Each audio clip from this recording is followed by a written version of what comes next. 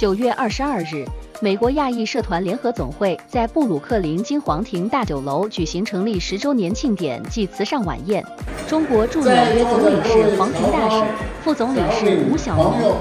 侨务组组长陈军超、纽约州众议员郑永嘉、州众议员高顿、市议员马泰、法官李昌勇以及社区人士纷纷到场祝贺。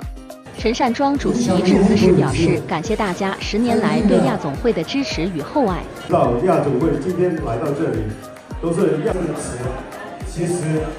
这是一个友好社团，包括美国福建同乡会主席陈伦东、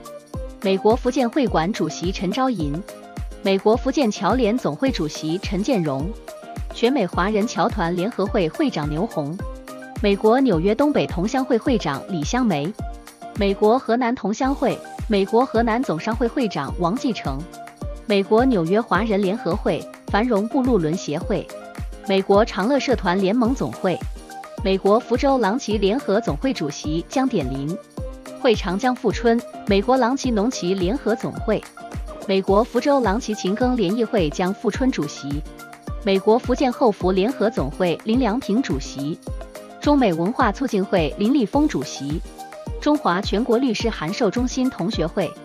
美国福建道教联合会主席陈春康等分别赠送贺匾，现场并向黄平大使、州众议员郑永嘉、州众议员高顿、市议员马泰、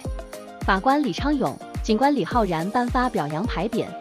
同时也向包括常务副主席陈宜昌、常务副主席雷怡、常务副主席高家顺、陈志年医生、陈海帆医生。亚裔社区顾问委员会委员王梦欣等颁发了总统义工奖，及新一届职员获颁了亚总会的委任牌匾。